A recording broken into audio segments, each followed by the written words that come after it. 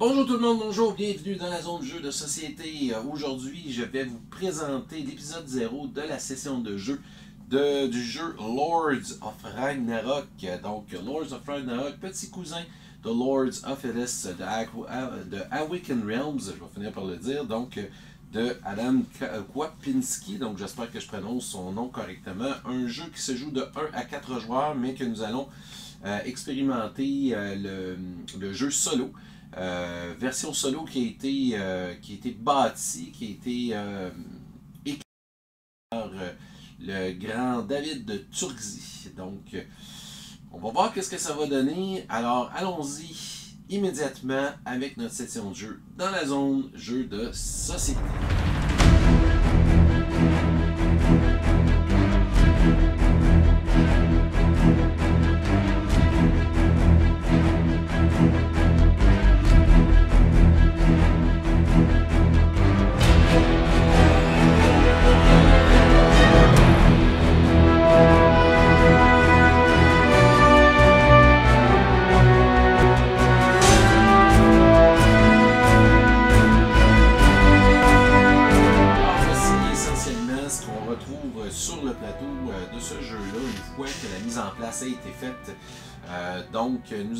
Plateau de jeu principal ici euh, dans une partie en solo. Euh, vous avez deux choix, soit que vous utilisez le côté deux joueurs et donc que vous, euh, vous préparez le tout comme une partie de joueurs, ou vous pouvez utiliser l'autre côté plus multijoueur jusqu'à trois joueurs et avoir essentiellement trois automates différents qui vont faire fonctionner des cartes également différentes. Moi, j'ai choisi d'utiliser la, version 2 joueurs donc pour cette présentation, euh, sur laquelle euh, bon, euh, notre héros, qui va être Ragnar, le chef de Chieftain, et qui est le fils d'Eggy, ben, va se battre contre un, suivant, un héros déchu, fils d'Odin, donc, Beowulf, le berserker. Donc, voilà. Donc, il est situé juste là. Euh, donc, dans la version solo, essentiellement, euh, nous avons un suivant, donc Beowulf, qui est euh, un suivant de suture, donc celui qui tente, qui veut détruire Asgard et tout le monde, le monde connu.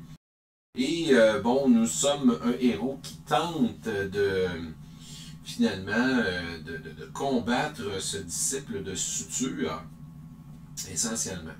Donc, un peu comme Lords of Hellas, vous allez avoir euh, des territoires avec euh, un niveau de population chacun, dans lesquels vous allez pouvoir, dans certains cas, construire des temples, ou encore euh, vous allez avoir des euh, settlements ou des villages euh, essentiellement qui, euh, ou des villes, euh, qui vous permettent finalement d'augmenter euh, la force de vos armées.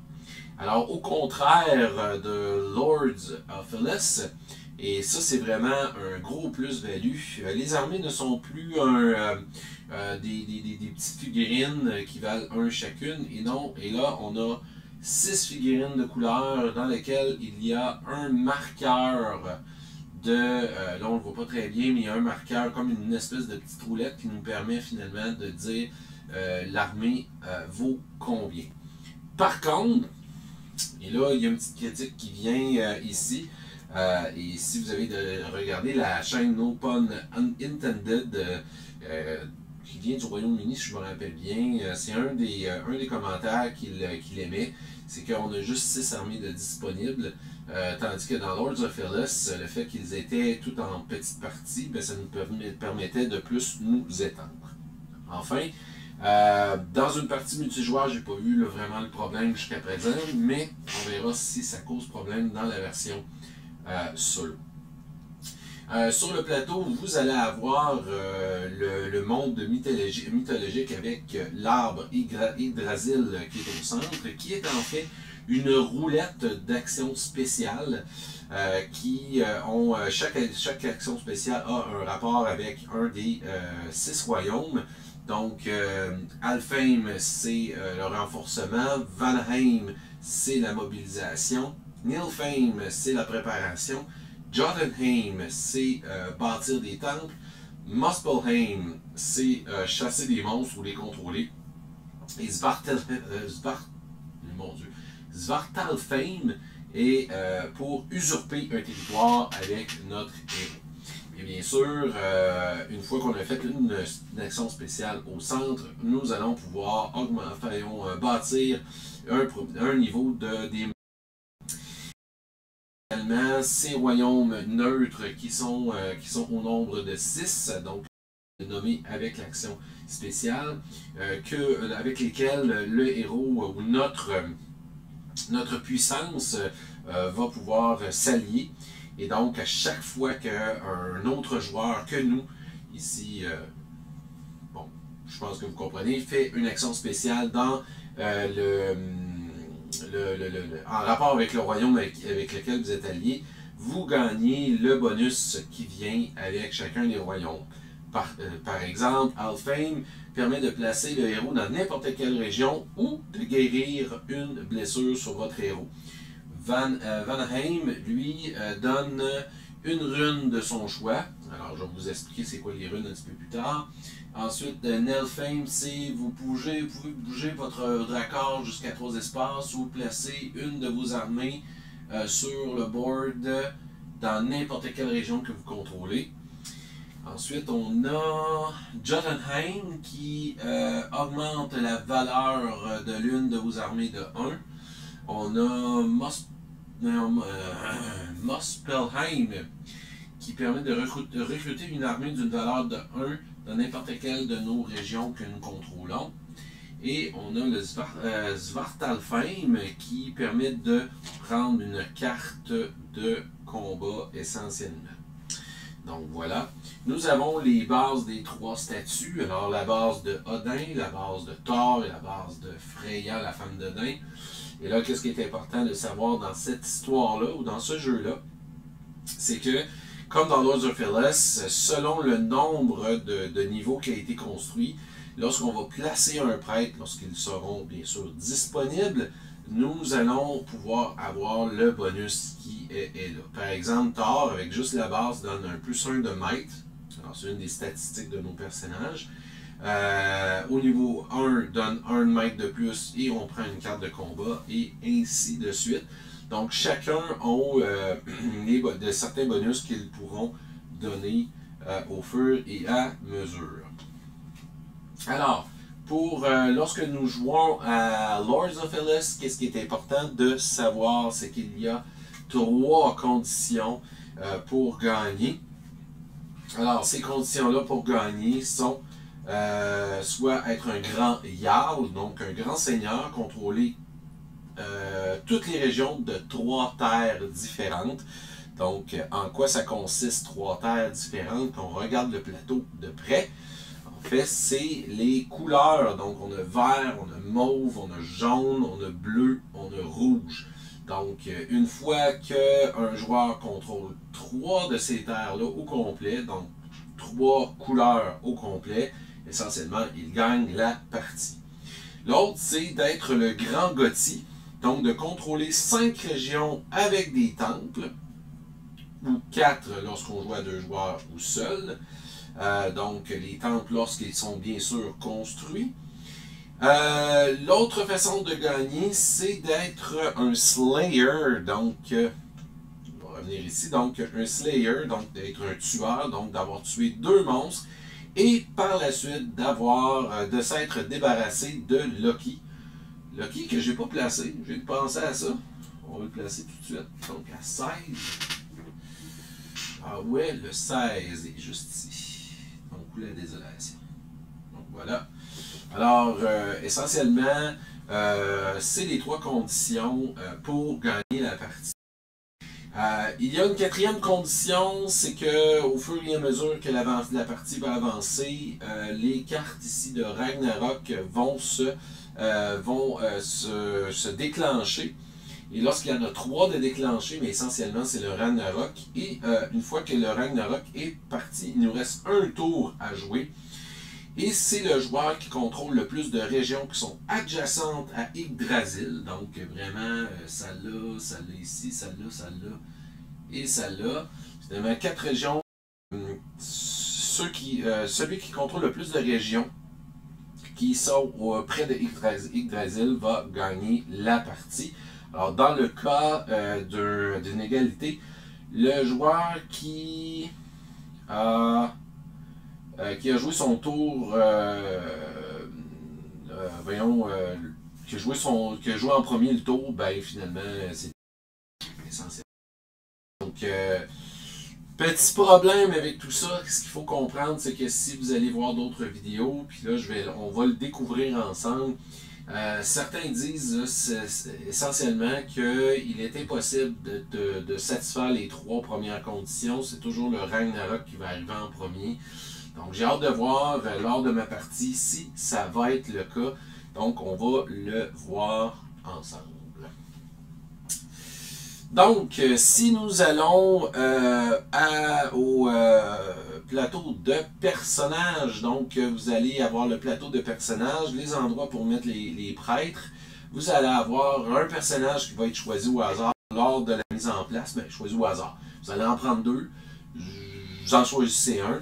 Chaque personnage a une habilité particulière. Donc là, ici, malheureusement, c'est un petit peu flou, mais qu'est-ce que ça dit? C'est Lorsqu'une terre avec Ragnar, euh, euh, lorsque vous êtes dans une terre où il y a Ragnar, donc mon personnage, euh, lorsque vous attaquez, vous gagnez un plus 1 dans la, dans la valeur de bataille avec chacune de vos armées qui est dans cette bataille. Donc, essentiellement, c'est un stratège. Et vous allez voir, il y a une petite carte juste en dessous. Ici, c'est Egerson, donc le fils d'Egir. Donc, c'est une carte aussi. Je devais en prendre deux. Euh, j'en choisis une. Et donc, ça me donne une habilité supplémentaire. Ici, euh, je prends contrôle de ma région de départ euh, si, la, si, la, population est de 4 ou moins. Et d'ailleurs, je pense que ce que je vais faire, je vais aller dans cette région-là, je vais l'avoir déjà. Donc, le valet 4. Alors, ma région de départ va être là, alors, à la mise en place, donc automatiquement, je la contrôle. On va vous expliquer, je vais vous expliquer ça après, comment ça fonctionne, le contrôle d'ailleurs. Donc, euh, ici, vous allez avoir trois statistiques pour euh, les personnages. On va avoir l'autorité. Alors, euh, lorsqu'un joueur va recruter des armées, ils sont placés sur le board avec la, une valeur égale à l'autorité du personnage. Ensuite, vous avez le maître ou la puissance en rapport avec Thor, finalement.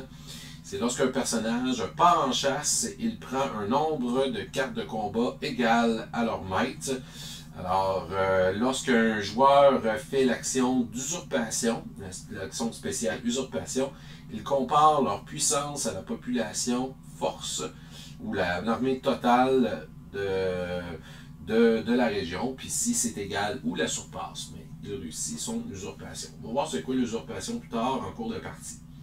Et on a la wisdom, donc la sagesse en, relation avec Freya. Donc, euh, ça limite le nombre de cartes de combat et de runes qu'un joueur peut avoir à n'importe quel moment. Sauf que durant la chasse, un joueur, euh, euh, un, joueur va devoir regarder le weak spot ou le, la faiblesse finalement euh, la faiblesse d'un monstre, euh, de l'attaque d'un monstre pour essayer d'avoir des cartes de combat supplémentaires. Donc, euh, on verra. Donc, ici, c'est là qu'on va placer nos runes. Parce que, qu'est-ce qu'il faut comprendre, c'est qu'en cours de partie, nous allons accumuler des runes. Ces runes-là vont nous servir à plusieurs choses au courant de la partie. Ces runes-là, en fait, on va les retrouver sur le board aux forges. Et euh, essentiellement, c'est euh, le héros qui va pouvoir les amasser. Et nous allons tout simplement les placer tout le long ici, à partir du bas. Il ne faut jamais que ça dépasse la sagesse de notre héros. Super important. Et euh, les actions de rune que nous allons pouvoir faire sont diverses. Prendre contrôle d'un monstre qui est neutre, activé dans, lequel, dans une région dans laquelle notre héros est activer euh, l'habilité d'un boss dans la région euh, de notre héros, euh, former une alliance avec un, royaume, un royaume adjacent, un des six royaumes, là, on parle, donc Alfheim et, ainsi de suite. pour deux runes différentes, il va pouvoir augmenter la valeur de l'une de leurs armées. De 1, activer un monstre contrôlé ou neutre de notre choix, placer un héros dans n'importe quelle région ou encore prendre une carte de combat dans la pige. Et pour trois runes différentes, il peut augmenter une statistique, la, la statistique la plus basse de 1, ou encore prendre deux cartes. Alors c'est relativement simple, tout simplement, donc euh, voilà. Donc, allons-y avec euh, tout simplement euh, le, le, jeu, comment il fonctionne. Donc, ça va être assez simple. Donc, le tour d'un joueur et du suivant se ressemblent beaucoup. Donc, essentiellement, nous avons une phase de prière dans laquelle nous pouvons envoyer un prêtre disponible, bien sûr, à un des trois monuments pour obtenir les bonus qui vont avec. Ensuite, on peut forger des runes. Donc, on peut prendre avec notre héros qui doit être dans la case en tant que tel. Sauf euh, pour euh, le followers, lui, euh, pour le, suivant de suture, lui, il peut le prendre dans sa région où il est ou une région adjacente. Donc, dans une forge. Ensuite, c'est la phase de héros. Donc, dans la phase de héros, vous pouvez soit guérir votre héros, donc de prendre une de vos, statistiques qui a été, par exemple, blessée et de la guérir. Euh, vous pouvez bouger votre héros de deux régions ou pouvez bouger de votre dracard de deux mers. En ce qui concerne le, tour euh, du suivant de suture, donc euh, il, on doit placer le, héros, le héros directement dans la région indiquée sur la carte d'action, tout simplement, qui a été sélectionnée au début de son tour par le dé. Alors, tout juste ici en haut. Donc, le premier chiffre dans l'espace noir, c'est pour euh, la carte à multijoueur. Sinon, pour la carte de joueur, c'est la hum, section grise. Donc, euh, on ne le fera pas nécessairement là. On va le voir euh, en termes de jeu. Voilà. Donc, ensuite, c'est les actions de rune. Donc, je peux prendre une, une action de rune. En ce qui concerne, en ce qui concerne notre euh, notre euh, suivant. Donc, euh, il fait les actions de runes qui sont les plus à gauche, mais qui ne sont pas sur la carte du dé. Donc, les actions de runes se retrouvent dans l'espace noir, brun, foncé qu'il a. Il est fait de gauche à droite jusqu'à temps qu'il n'y ait plus de runes en tant que tel. Lui, il ne fait pas juste une action de rune, il en fait même plusieurs. Donc, il est un petit peu plus fort que nous. Ensuite, c'est la phase de manœuvre. Donc, j'active une armée soit que je la bouge dans un territoire adjacent ou je l'augmente de 1 si je suis dans une région de village. Si le joueur n'a pas d'armée sur le board, alors genre, il, doit, il peut en recruter euh, une armée, euh, bien sûr, au niveau, euh, au niveau de, sa, de son autorité. En ce qui concerne le, en ce qui concerne le, le, le, le hum, follower, donc essentiellement, pense que c'est de l'autre côté. Ouais. Alors, ça concerne le follower, donc euh, le, suivant, euh, si le suivant n'a pas d'armée sur le board, il, recrute une, armée, euh, une armée et place un jeton de désolation, donc dans l'endroit où, il se trouve. Et juste pour vous dire, lorsque j'arrive à zéro désolation, que je dois en placer une, c'est suture qui arrive et c'est la fin de la partie et j'ai perdu. donc, Sinon, s'il y a une région euh, ou des régions qui sont euh, envahissables, alors on doit euh, envahir. cette région. C'est si il y a plusieurs régions qui sont une selon les préférences du follower.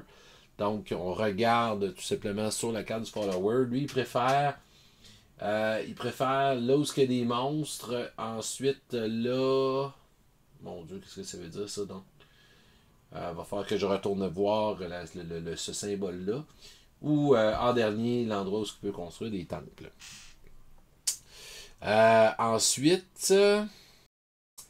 Euh, puis là, il l'envahit, puis c'est la même affaire. Donc, il bouge une armée adjacente sur sa région cible. Euh, et euh, son, euh, son, armée est égale ou plus haut que le niveau de population. Si c'est le cas, ben, il en prend possession. S'il y a une armée ennemie, ben, bien sûr, il y a une bataille qui va éclater.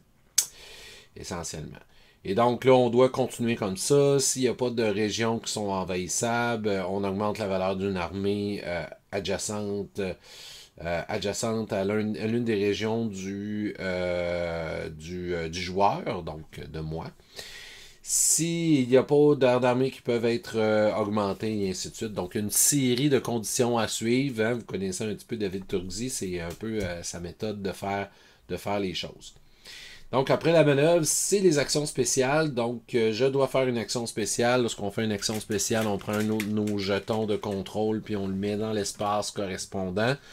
Si euh, cette, euh, cette action spéciale, ben, en fait, le royaume qui est relié à cette action spéciale-là est un allié de l'adversaire, ben, l'adversaire a peut, peut obtenir le le bonus qu'il y, a euh, là.